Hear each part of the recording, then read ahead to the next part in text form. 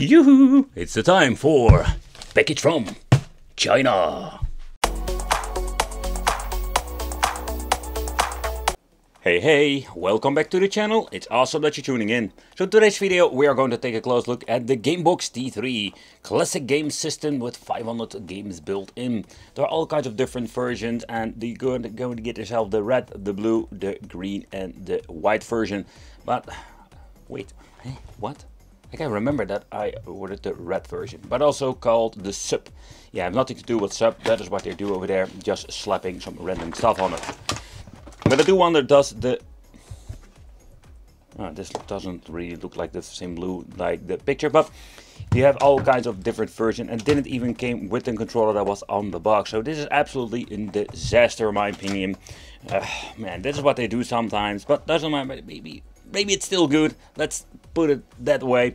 Let's take a close look at the toy, the paper manual, because there is nothing much in the inside but even English, so this doesn't really start great. We're going to get ourselves a cable, and I mean the AV out cable, because you can plug this thing into your television. The battery has been implemented, that is a BL5C old school Nokia battery, 1020 milliamp, but I find it very convenient. These things are dirty cheap, so if it gets broken or you want to have a couple of replacements, you can buy them from AliExpress dirty, dirty cheap. Okay, and you don't have an option to add normal batteries, but I think that is not a bad thing.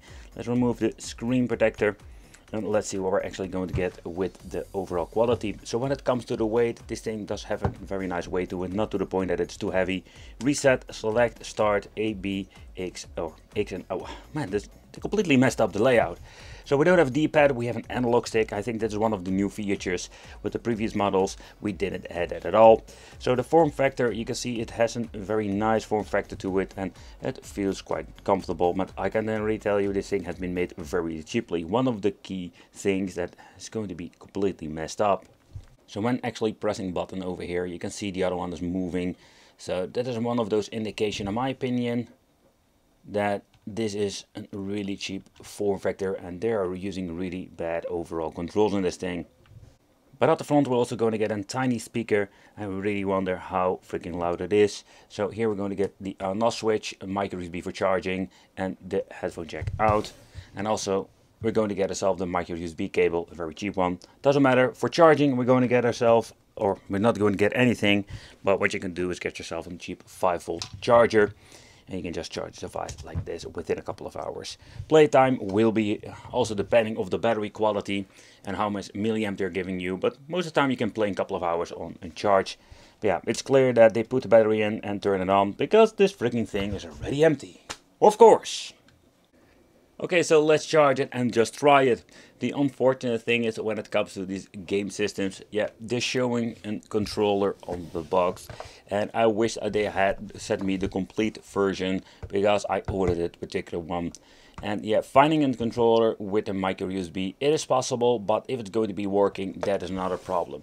The display quality, it's the same that we have seen many times before, so there is nothing new over there. So when it comes to the volume, also this is not bad at all.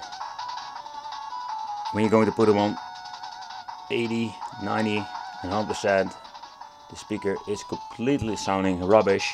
So that's a fact. And one thing I really hate about these things is the language settings. And the reason why is because, oh man, every single time you reset it, you need to choose the language and the Chinese is on top. So it's absolutely horrible. But let's take a close look at the English game list.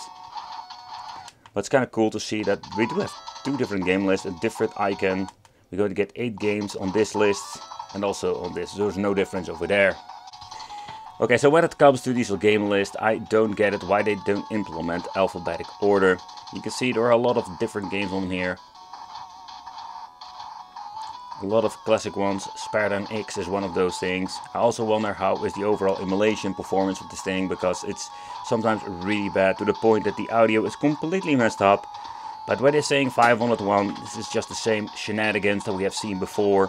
With a lot of weird homebrew games and don't forget they are slapping double games on this.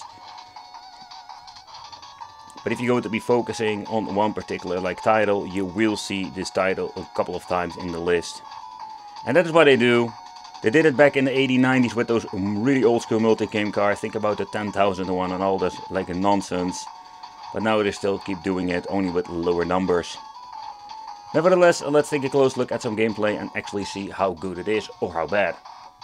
Some of the games, even like Super Contra, has the option to have an implemented, like say cheat mode. Here you can see we're having different kind of cheats. So for example, I want to have the shotgun the full game. We can just actually boot up the game this way and just play it.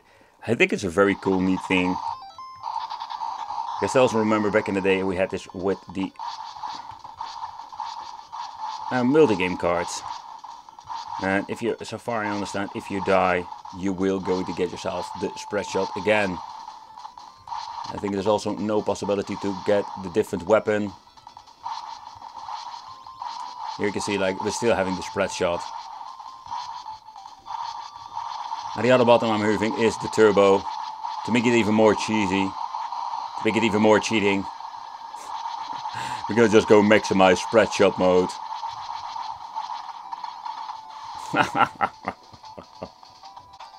but a lot of familiar games like Street Fighter 2010, not the same stuff that we have seen before. Let's say with the official ones I've picked up from the local stores.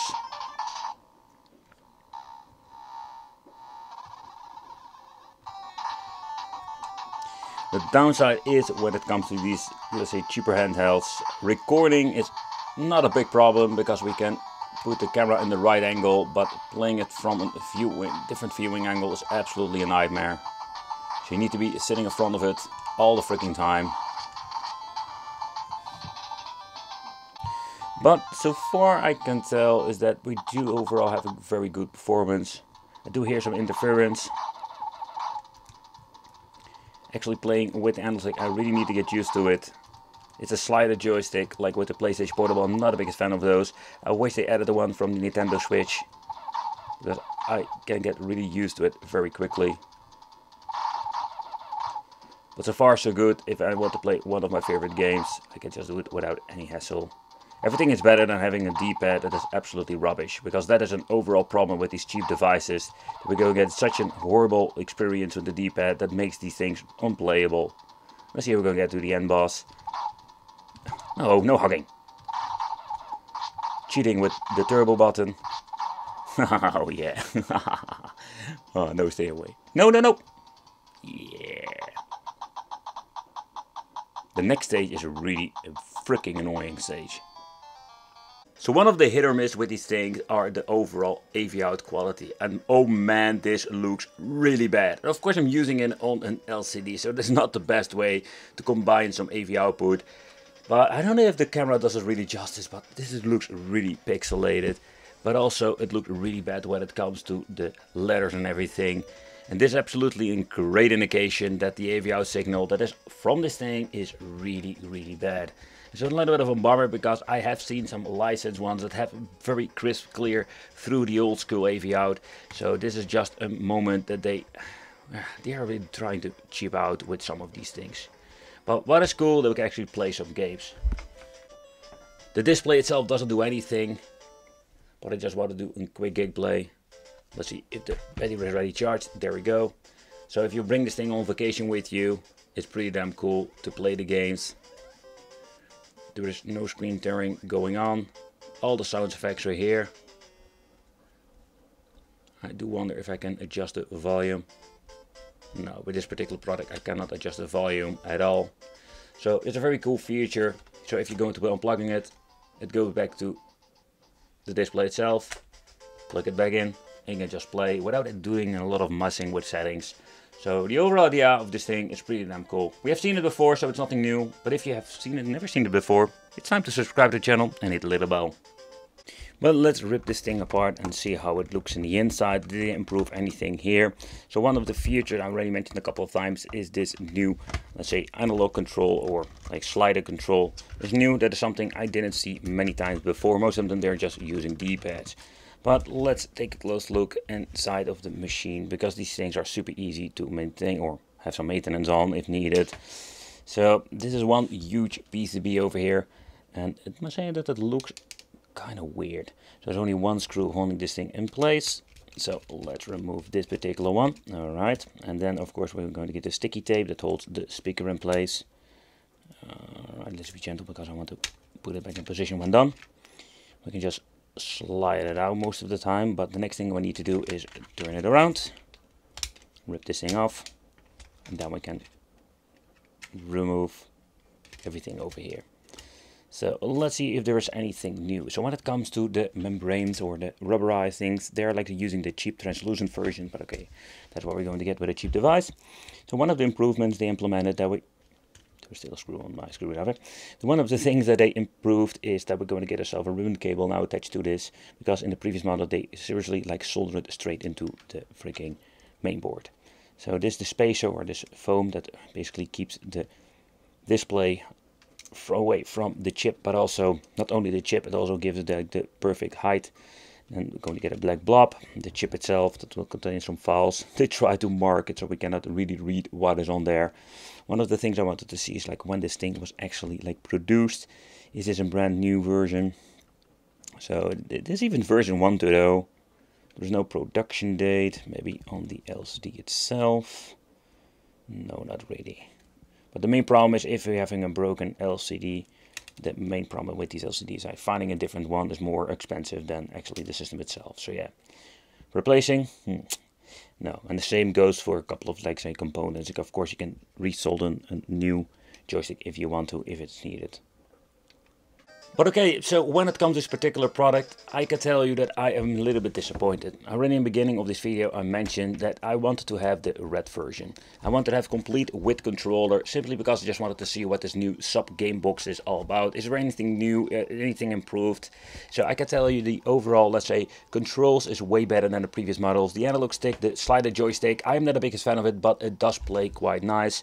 They still have this freaking annoying rubbish menu. What they should do in my opinion is like when you going to uh, boot up the menu, they can get switching between languages inside here. And it also needs to save, make quick loads, quick save, everything like that is not in here. It's just back to the roots, back to the retro gaming with new features. Thank you all for watching. Consider subscribing, hit the little bell, and it will be great to see you in the next video.